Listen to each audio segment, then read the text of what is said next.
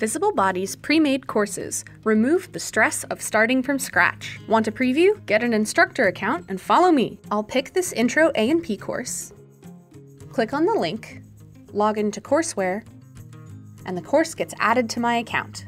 The first lesson is a tutorial for students on rotating, zooming, and dissecting models. That takes the work out of training them.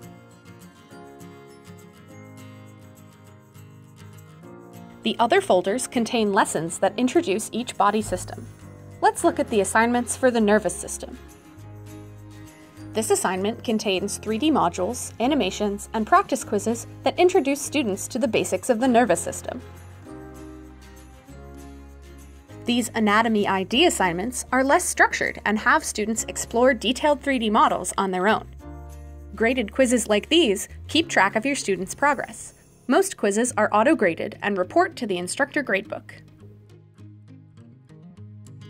This nervous system lesson is on common conditions. Last but not least are the lab assignments. Traditional lab assignments walk students through a learning lab on their computer. Augmented reality labs are great for students to complete on mobile phones or tablets. They scan an image to open an AR model they'll use to dissect and learn structures. Did you know that everything in these courses can be edited?